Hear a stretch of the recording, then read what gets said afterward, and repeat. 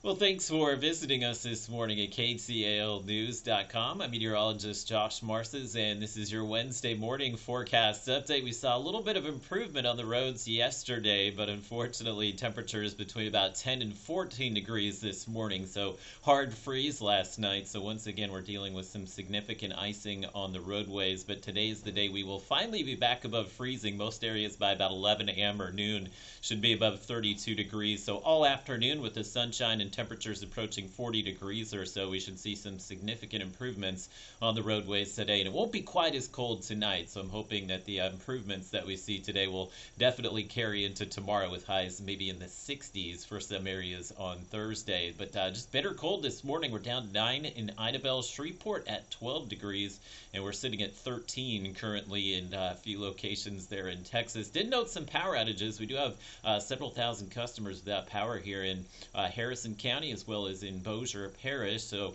have noted a few of those power outages this morning. So just make sure you kind of check on your friends and neighbors and make sure they're uh, feeling warm enough this morning with those bitter cold temperatures. Thankfully, we do not have much wind out there. Of course, the wind chill was an issue yesterday, but with calm winds, not registering any kind of wind chill this morning. So it actually feels like it's 10 degrees rather than negative 10 that we felt yesterday morning. High pressure directly over us. So that means light wind today. And the winds will switch around to the south. So that's what's going to cut off the Arctic air that we've been dealing with, and that should allow us to warm back above freezing by about noon today. So forecast highs a few degrees either side of 40 this afternoon. So it will be a cool day, but uh, much nicer than what we felt the last few days. This will be the first time many of us above freezing since the weekend. So looking at Robinson at Futurecast does show the sunshine out there today, and uh, likely we'll see a few clouds spill through tonight, but there won't be any kind of precipitation or rain. And actually, those clouds building in will keep our temperatures a little bit higher than what we've experienced the past past few nights. For your Thursday, uh, it is going to be a fairly warm day, upper 50s, low 60s, but there's that dry cold front coming through Thursday night, so we get another surge